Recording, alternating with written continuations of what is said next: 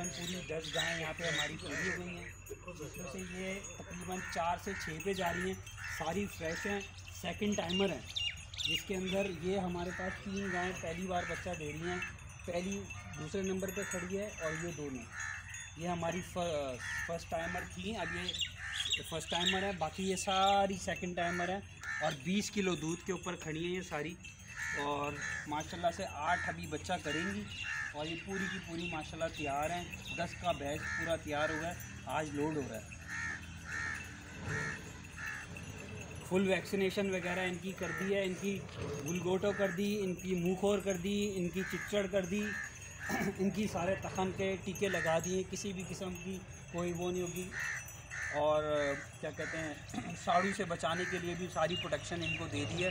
Truck पूरा तैयार है। इंशाल्लाह आज लोड हो रहा है।